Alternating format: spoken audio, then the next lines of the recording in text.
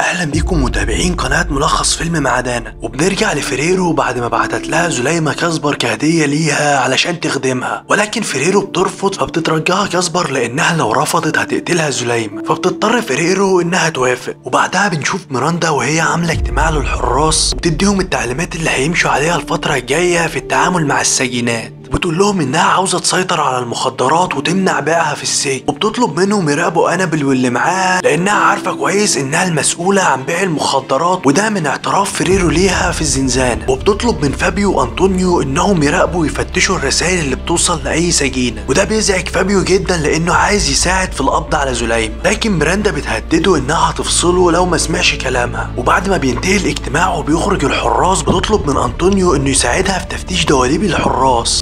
وبيروحوا على غرفة الملابس وبيبدأ أنطونيو إنه يفتش دواليب أصحابه. ولما بيوصل لدولاب فالبوينا بيخرج شنطة منه ولما بيفتحها بيلاقي فيها كيس مخدرات. بس بيخبيه بسرعة في جيبه قبل ما ميراندا تشوفه. ولما بيخلصوا تفتيش بيرجع أنطونيو علشان يساعد فابيو في تفتيش الرسائل اللي جاية للسجينات بيبان التوتر على أنطونيو فبيسأله فابيو عن السبب. فبيقول له إن ميراندا طلبت منه يفتش الدواليب بتاعتهم وهو ما قدرش يرفض. وبيقول له إنه لقى كيس الهيروين ده في الشنطة بتاعت فالبوينا. وبيسأله إذا كان المفروض يبلغ ميراندا ولا لأ. لكن فابيو بيقول له إنه اتأخر وكان لازم يبلغها في وقتها. ولو بلغها دلوقتي هتحس إن ليه علاقة بالموضوع وهتتهمه هو. بياخد منه الكيس وبيقول له إن هو هيتصرف. وبنشوف سراي والسجينات بيجهزوها علشان الحفلة. وبتدخل عليها زليمة علشان تبارك لها فبيسيبوها كل اللي معاها في الزنزانة ويخرجوا. وبيبان على سراي إنها لسه زعلانة منها بسبب اللي عملته في الزيارة مع أهلها. لكن زليمة بتعتذر لها وتبارك لها وبيرجعوا يتصالحوا تاني. وبتتجوز سراي فعلا في السجن علشان تنقذ عيلتها من الديون اللي عليهم. وبره السجن بنشوف داميان وهو مع ليو في البيت وهما بيتكلموا بيلاحظ ليو مكان الطلقة اللي ضربها المصري. فبيتوتر جدا وبيسأل داميان عن سبب زيارته. فبيقول له داميان إن المصري مطلوب دوليا وخطر جدا وما ينفعش يتعاون معاه. فبينكر ليو إنه بيدور على الفلوس أصلا أو مهتم بيها. وبيقوم علشان يخبي مكان الرصاصة بس داميان بيحس إن في حاجة غلط وبيشوف الرصاصة في الحيطة بتاعه البيت ولما بيخرجها بيعرف إنها من المسدس المصري. وبيعرف ساعتها إن ليو متورط فعلا مع المصري وإنه كان في البيت بتاعهم وحصل ضرب نار. وفي السجن فابيو بيلاقي رسالة جاية لزليمة وبيشك إن المصري اللي باعتها فبيحاول يفتحها من غير ما يقطع الظرف أو يخلي زليمه تحس إن في حد فتح الرسالة. ولما بيفحص الورقة كويس بيلاقي نمرة موبايل مكتوبة بحبر خفي. فبياخد الرسالة وبيروح لميراندا. وفي مكتب ميراندا بنعرف من داميان إن ال 500 يورو اللي المصري باعتها من نفس الفلوس بتاعت يولاندا اللي هو أخدها. لكن مش بيفهموا المقصود من الكلام اللي على الورق. وبيقول لهم داميان إن الجواب لازم يوصل لزليمه في ميعاده وإنهم هيراقبوا تليفونات السجن علشان لما يتصل المصري يحددوا مكانه ويقبضوا عليه. لكن لما بتوصل الرسالة لزليمه بتلاحظ إنها اتفتحت وبتعرف إن الشرطة شافت الرسالة وبتحاول تعرف مكان المصري. وبتروح فرير لزليمه علشان تسألها عن سبب الهدية اللي بعتها لها وخصوصا إنها كانت بتهددها امبارح. فبتقول لها زليمه إنها بتبدأ صفحة جديدة معاها وده عربون صداقة ما بينهم. وبنعرف ساعتها إن زليمه بعتت لها كاسبر علشان تتجسس عليها وتعرف كل خطواتها والأشخاص اللي بتكلمهم. وبعد ما بتخرج فريرو من عنده زليمه بتروح علشان تقابل أبوها وأمها. وفي نفس الوقت برضه زليمه بتخرج علشان تقابل المحامي بتاعها وبيسألها أهلها إذا كانت بتواجه أي مشاكل في السجن. لكن فريرو بتطمنهم وتقول لهم إنها تأقلمت مع الوضع جوه السجن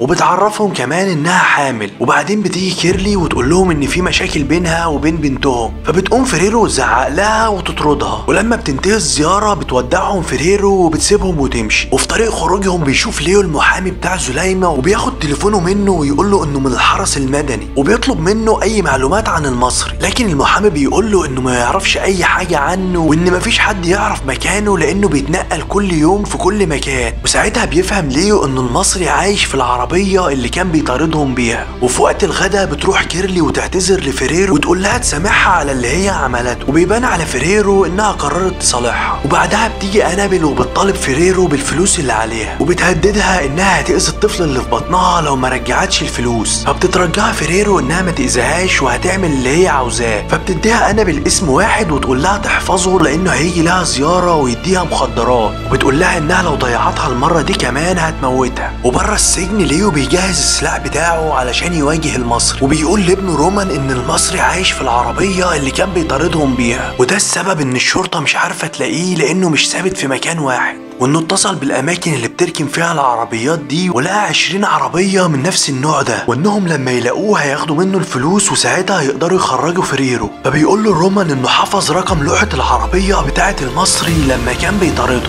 وإنهم ممكن يبحثوا عن الرقم ده ويعرفوا مكان المصري. وجوه السجن بيروح فابيو لفريرو ويقول لها إن عندها زيارة بنفس الاسم اللي قالت لها عليه انابل فبتعرف فريرو إنه جاي علشان يسلمها المخدرات وبيمشي وراها فابيو ويقول لها تعرفه إذا كان في حد مهددها علشان ما تحطش نفسها في مشاكل. لكن فريرو بتقرر إنها ما تقولوش حاجة لأنها خايفة من انابل ولما بتخلص فريرو المقابلة وبتطلع ومعاها المخدرات بيجي كارلوس وبيقول لها إن هو اللي هيفتشها. وبياخدها للعيادة وبيكون متأكد إنها مهربة مخدرات. وبيبتزها إنها تديها له وإلا هيدي ابنها لما يتولد لجمعية حقوق الأطفال. وبكده مش هتقدر تشوف ابنها تاني. فبتخاف فريرو جدا وبتديله كل المخدرات اللي معاها. ولما بترجع تاني للسجن بتشوفها انابل وبتروح لها علشان تطمن على المخدرات بتاعتها. لكن فريرو بتقول لها إنهم صادروها منها ولكنها ما جابتش سيرتها. فبتهددها انابل انها هتأذيها وهتموت الطفل اللي في بطنها. فبتتعصب فريرو وبتخنقها ولكنها بتعرف بسرعة إن اللي بتعمله ده هيخليها تأذيها أكتر. فبتسيبها وتعتذر لها لكن أنابل بتقول لها إنها ما بقتش مهتمة بالفلوس وإنها هتموتها. وبنروح لغرفة المراقبة بتاعت الحراس وداميان مراقب زليمة ومستنيها تعمل أي اتصال بالمصري علشان يعرفوا مكانه وفعلا بتروح زليمة للتليفون وبتتصل بالمصري والشرطة بتبلغ داميان إنهم قدروا يعرفوا مكان التليفون. ولكن الصدمة إن التليفون بيكون في عربية داميان وساعتها بيعرفوا إن المصري عمل لهم فخ هو وزليمة وبيلغي داميان العملية وهو متعصب جدا إنهم قدروا يضحكوا عليه. وبيتضح إن زليمة عارفة إنهم بيراقبوها وبتبص لهم في الكاميرات